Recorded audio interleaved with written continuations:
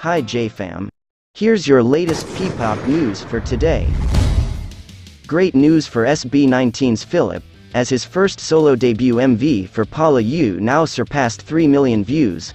His second solo single, Bulan is also quickly gaining views, as it now surpassed 1.5 million views. Congratulations Felip.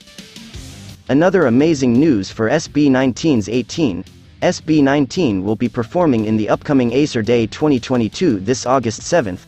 Acer Philippines will be going all out for this event, titled Green Mark Concert. SB19 will be joining big names OPM artists, such as Sarah Geronimo, Parokya ni Edgar, Adie, and many more. This will be held at SM Mall of Asia Arena.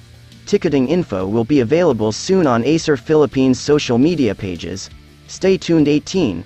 For the meantime, keep going on and go all out for the last few hours of the voting for Billboard Fan Army Face Off. It will all be worth it. Subscribe to our channel and don't miss out on your latest P-pop updates.